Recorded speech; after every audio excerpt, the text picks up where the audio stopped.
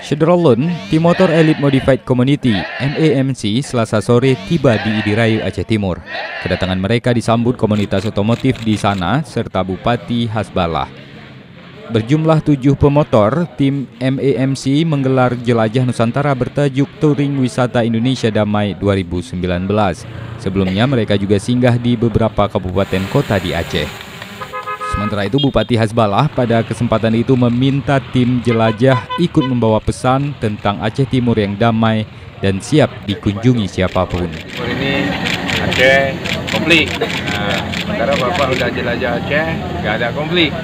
Nah, ya Alhamdulillah, mungkin Bapak bisa sampaikan kepada teman-teman yang ada di luar Aceh ya, ya masuk di Bandung, Jakarta.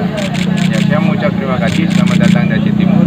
Mudah-mudahan perjalanan Bapak untuk jelajah Nusantara sehat walafiat dan bisa bersama keluarga dan bisa juga Bapak untuk menjelajah dunia. Amin. Ya, terima kasih Pak. Tim MAMC Jelajah Nusantara sendiri memulai start dari Luwu Timur, Sulawesi Selatan hingga sampai ke Banda Aceh.